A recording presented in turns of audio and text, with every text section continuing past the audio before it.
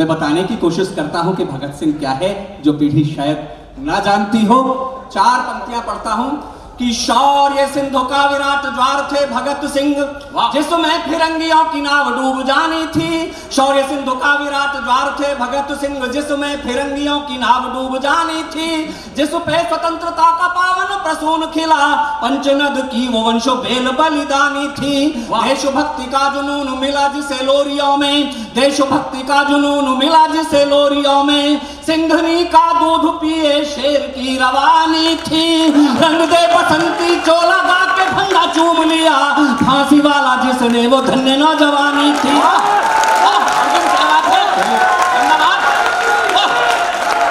करता हूँ थोड़ी सी आवाज़ इसकी बढ़ा मैं मैं मैं सैल्यूट करता हूँ। और आरोप लगते हैं इस नौजवान पीढ़ी पर कि ये पीढ़ियाँ बदचलन हो गई। हमला संसद का हो या सरहद का? इस मुल्क के बेटों ने अपने मस्तक दे दिए लेकिन तिरंगे को झुकने नहीं दिया। मैं ये युवक जो बैठे हैं इनको समर्पित करता हूँ और बूढ़ा कोई नहीं है बाकी वरिष्ठ युवा बैठे हैं जो कुछ सबको पंक्तियाँ स्वागत है कि इनसे भले ही व्यवहार में हो भूल चूक फिर भी ये मस्त जिंदगानी काम आएगी। इनसे भले ही व्यवहार में हो भूल चूक, फिर भी ये मस्त जिंदगानी काम आएगी। कभी कभी मानी और कभी नहीं मानी वह कि है जो इन्होंने मनमानी काम आएगी। और मेरे तर्क से सहमत हो जाए अगली दो पंक्तियों पर। तो आकाश भर तालियाँ बजाकर किस स्नेह देना मुझे? कि इनसे भले ही व्यवहार में हो भूल चूक, फिर भी मस्त जिंदगानी काम आएगी।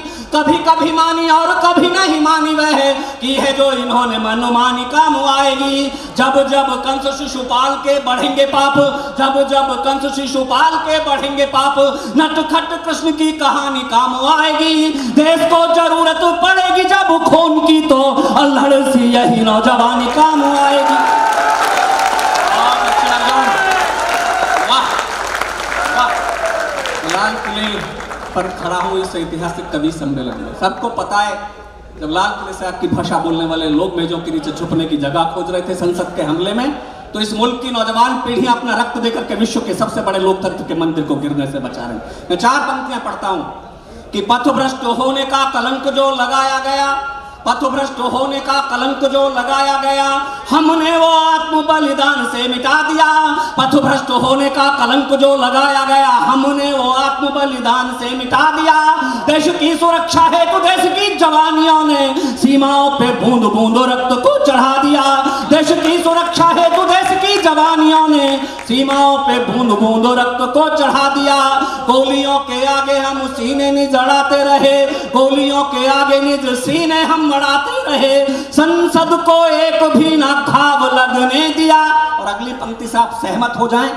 तो केवल तालियाँ बजाना। कि गोलियों के आगे सीने हम मड़ाते रहे। संसद को एक भी ना घाव लगने दिया। आप समझौतों वाली मेज पे ना जीत पाए। चोटियों पे हमने तिरंगा लहरा दिया।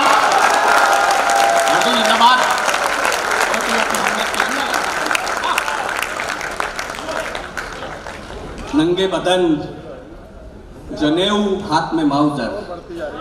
चार पंक्तियाँ पढ़ना चाहता हूँ। सियासत ने आतंकवादी कह दिया। हम सत्तर वर्षों में भूल गए। क्रांतिकारी कौन और आतंकवादी कौन? तब उस महानायक के नाम एक पंक्ति पढ़ता और एक पंक्ति पूरी कविता लगे तो जहाँ कहीं स्वर्ग में हो वहाँ तक तालियों का विस्फोट देकर के उन्हें प्रणाम निवेदित करना और ये सूचित कर देना कि ये मुल्क शहीदों के साथ खड़ा कि छोटी सी उम्र में ही कर गई बड़े काम नचिकेता पहलाद जैसी ज़िंदगी। छोटी सी उम्र में ही कर गई बड़े काम। ध्रुव नचिकेता पहलाद जैसी ज़िंदगी। जन्म से नगण्य किंतु कर्म से प्रणम्य बनी। शबरी जटायु निषाद जैसी ज़िंदगी। जन्म से नगण्य किंतु कर्म से प्रणम्य बनी, शबरी जटायु है निषाद जैसी ज़िंदगी। डायर के सीने में उतार गोली ऊधम से डायर के सीने में उतार गोली ऊधम से सीना तान के जियो फौलाद जैसी ज़िंदगी। जीते जी फिरंगी सरकार जिसे छू न सकी।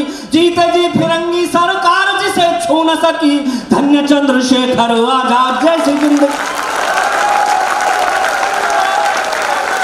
वाह, वाह। वाह।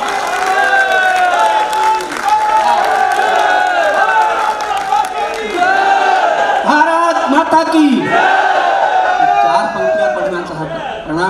चार पंक्तियाँ पढ़ना चाहता हूँ, आज़ादी के उस महानायक को जिन्हें नेताजी के नाम से हम जानते हैं। राजनीति का चरित्र बदल गया। आज नेता ऐसा लगता है किसी व्यक्ति को कह दिया जाए शरीफ आदमी को तो उसे लगता है जैसे गालियाँ देती है। लेकिन विश्व के उस महानायक के नाम चार पंक्तियाँ पढ़ता हूँ जितने बड़े कद पर पढ़ता हूँ जितने बड़े व्यक्तित्व पर पढ़ता हूँ उतना मन आपका मिले।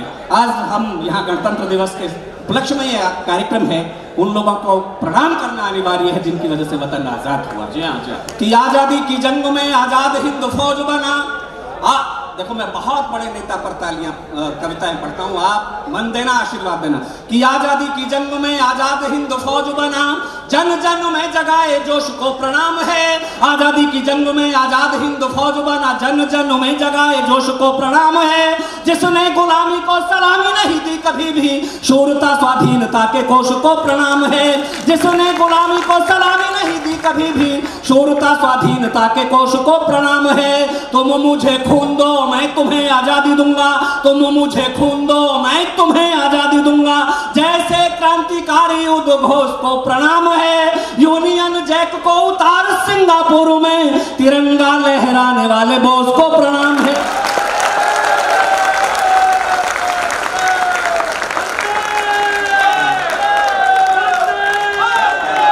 बहुत अच्छे बहुत जय प्रणाम करते हैं। मैं आप दोस्तों, उन्हें भी प्रणाम कर लेता हूँ। मैं जानता हूँ सभी की अपनी सीमा है और मैं समय की सीमा का ध्यान भी रखूँगा।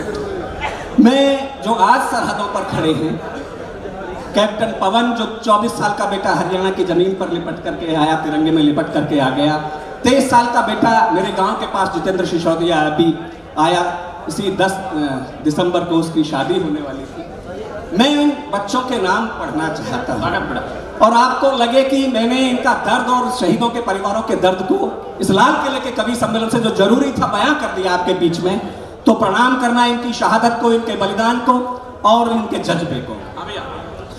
जो डेढ़ सौ बच्चे सरहद के पार भेजे, साहब कहते हैं, पीढ़ियाँ बच्चलन हो गई।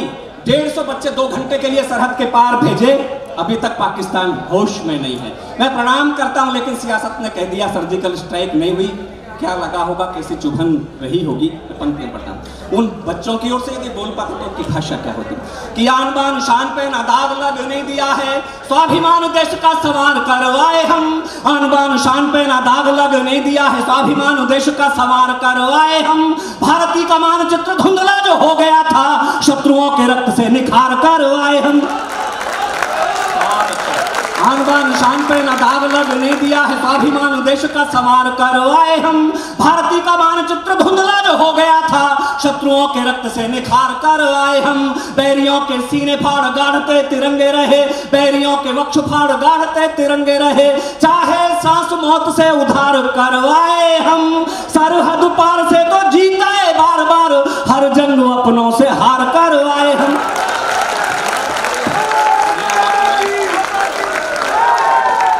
बहुत अच्छे तिरंगे में के बेटे आए माओ ने बताया कि, साथी सैनिकों ने बताया, बड़े शौर्य स्वाभिमान के साथ वो लड़े दुश्मन की कोई गोली पीठ पर नहीं खाई। माओ के चेहरों पर ना शिकन ना आँखों में आँसू, लेकिन तिरंगे हटा करके माओ ने बेटों के शव देखे तो बेटों की पीठ पर गोली के निशान दिखाई दिए। ये कैसे निशान है जो इस देश की राजनीति को नहीं दिखते? इस देश के आवाम को नहीं दिखते। बलिदानी सैनिकों की माओ को दिखते। प्रणाम उन माओ को करता हूँ, साहब, इकलौता बेटा, तिरंगे में लिपट करके आ गया, कैप्टन पवन, और कोई माँ ये भाषा बोल दे कि मुझसे सौभाग्यशाली कोख किस माँ की होगी? राष्ट्र ध्वज का कफन ओढ़ा मेरे लाल ने। मैं तो छोटी माँ हूँ, बड़ी माँ तो माता भारती है। बड़ी माँ से ऊँचा नाता जोड़ा मेरे लाल मैं तो छोटी माँ हूँ। बड़ी माँ तो माता भारती है। बड़ी माँ से ऊँचा नाता जोड़ा मेरे लाल ने। अश्रुधारा बह रही है। गर्व से माँ कह रही है। सैनिक का प्राण नहीं तोड़ा मेरे लाल ने। शत्रु शीश फोड़ दिए। चाहे प्राण छोड़ दिए। हाथ से तिरंगा नहीं छोड़ा मेरे लाल ने। हाथ से तिरंगा। उन माओ को प्रणाम हुए पढ़ना चाहता हूँ। चार पंक्तियाँ।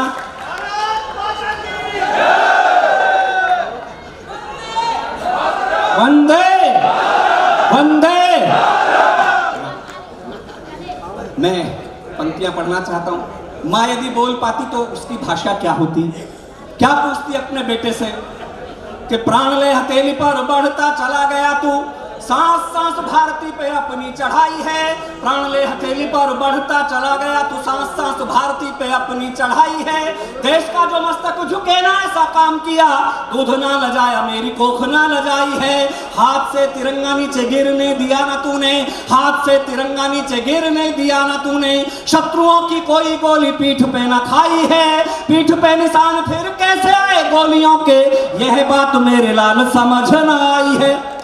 और कहीं सैनिक के शव में बोलने की शक्ति रही होती तो उसने मेरी भाषा में जवाब दिया होता। मैं तमाम युद्ध विरामों के विरुद्ध क्रुद्ध होकर कविता की कुछ पंक्तियाँ आपके बीच में रखना चाहता हूँ। दोस्तों, इस मुल्क के बेटों के पैरों की बेड़ियाँ नहीं खोली गई, हाथों की हथकड़ियाँ नहीं खोली गई, नहीं तो ये कश्मीर की कोई समस्या नहीं थी, जिसे इस मुल्क के बेटे हल ना कर देते। तब मैं इस मुल्क के बेटों की ओर से पढ़ना चाहता हूँ, उसका जवाब शायद ये था कभी तीन हज़ार, कभी तिरानवे हज़ार इस मुल्क के बेटों ने बंदी बनाए कुलभूषण जाधव के लिए फांसी का फंदा बुनता है पड़ोसी मुल्क, लेकिन ये संस्कार हिंदुस्तान के बेटों के रहे होते तो सन इकहत्तर के युद्ध में तिरानवे हज़ार के सर कलम करके ताबूत में बंद करके पड़ोसी मुल्क भेजा जा सकता था। ये हिंदुस्तान की संस्कृति नहीं, लेकिन फिर भी इस मुल्क के बेटे, यदि बोल पाते तो उनकी भाषा क्या होती? कि सिंधु ने दिवाला जल, सारा लाल लाल हुआ। शत्रुओं के शौणित्व की धार वो बहाई थी। हिंदुस्तान की गादियों में दूर रहेगी जब तलक ईमान की, तख्त लंदन तक चलेगी तेग हिंदुस्तान की। वो परंपरा, जो बहादुर शाह ज़फ़र से होती हुई जब सियासत के गलियारे में पहुँची तो एपीजे अब्दुल कलाम बनकर खड़ी हो जाती है। सरहद पर खड़ी होती है तो अब्दुल हमीद बनकर के खड़ी होती है। जब शायरी के मंच पर कविता के मंच पर होती है तो प्रोफेसर वसीम बरेलवी के रूप में होती है। उसे प्रणाम करते हुए चार पंक्ति संभालना जहाँ कहीं जन्नत में होंगे अब्दुल हमीद क्या बताया होगा उनकी माँ को? साथी सैनिकों ने किस पराक्रम से लड़े? कि शत्रु आए शक्ति के गुमान से भरे हुए जो सीमाओं पे दम्भ उनका निचोड़ दिया है शत्रु आए शक्ति के गुमान से भरे हुए जो सीमाओं पे दम्भ उनका निचोड़ दिया है भारतीय सैनिकों ने तोप से अड़ा के सीने मौत के दहानों का भी मुँह मोड़ दिया है। भारतीय सैनिकों ने तोप से अड़ा के सीने मौत के दहानों का भी मुँह मोड़ दिया है। शत्रुओं के मस्तकों को मुट्ठियों में भीच भीच शत्रुओं के मस्तकों को मुट्ठियों में भीच भीच कच्ची मिट्टी के घरों के जैसा फोड़ दिया है। अम्मा, तेरे लाडले ने प्राण छोड़ने से पहले। अम्मा, तेरे लाडले ने प्राण छोड़ने से पहले। शत्रुओं का आखिरी भी टैंक तोड़ दिया है। भारत